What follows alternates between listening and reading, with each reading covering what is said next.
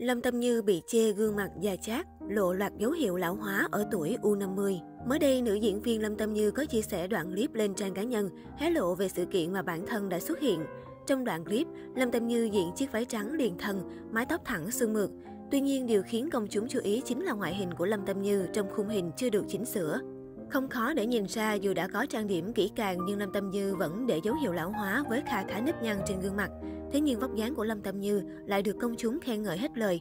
Trong một khoảnh khắc do thiên qua đường quay lại, khi Lâm Tâm Như đứng trên sân khấu sự kiện, công chúng không khỏi suýt xoa trước thân hình nuột nà cùng đường cong hoàn hảo của bà xã Hoắc Kiến Hòa.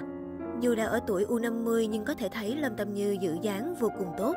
Sau khi kết hôn với Hoắc Kiến Hòa, Lâm Tâm Như có một cô con gái tên ở nhà là Cá Heo Nhỏ. Lớn tuổi mới có con nên nàng Hạ Tử Vi thương yêu chiều chuộng con hết mức về mặt vật chất. Cũng vì vậy mà cô từng nhận phải nhiều lời chê trách về việc nuông chiều con quá mức, dạy con không giỏi bằng bản thân Tử Vi. Thời gian trước, Lâm Tâm Như từng dính vào một vụ lùm xùm về cách nuôi dạy con. Cụ thể, Hà Tử Vi chia sẻ lên mạng xã hội một bức ảnh chụp bàn tay của con gái. Đáng chú ý, trên cổ tay cô bé đeo một chiếc đồng hồ màu trắng rất đẹp, trông khá tinh xảo. Ngay khi bức ảnh được đăng tải, rất nhiều cư dân mạng đã để lại những bình luận như quá xa xỉ, con minh tinh có khác, đeo chiếc đồng hồ đến là đắt tiền.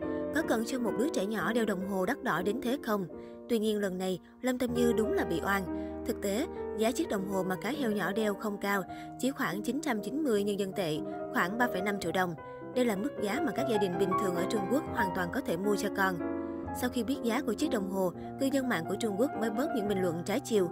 Được biết, Lâm Tâm Như có quan niệm nuôi con gái giàu, nghĩa là cho con gái đầy đủ vật chất để con tự tin, kiêu hãnh và khi trưởng thành không bị cám dỗ.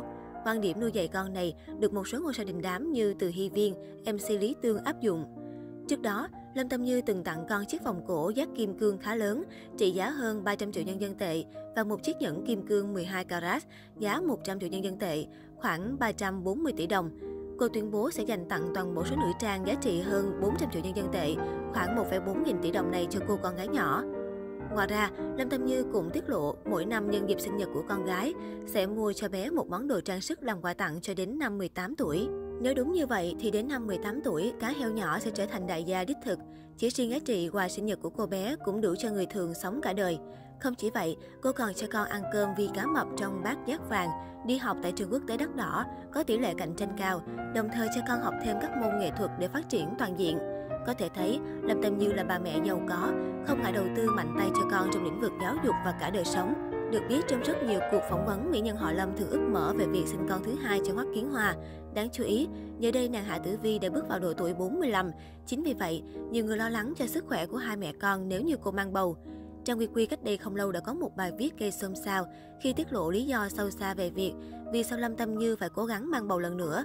Nguyên nhân là bởi hai vợ chồng thực chất có một thỏa thuận hôn nhân, trong đó có nêu rõ việc nếu cả hai ly hôn, quyền nuôi con sẽ thuộc về Lâm Tâm Như.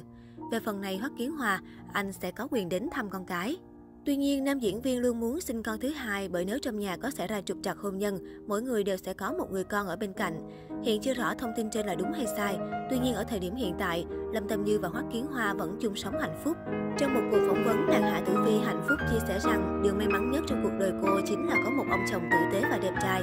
Nhờ những chi tiết này, netizen hoàn toàn có thể thở phào nhẹ nhõm và thực sự yên tâm về mối quan hệ của cặp đôi nổi tiếng.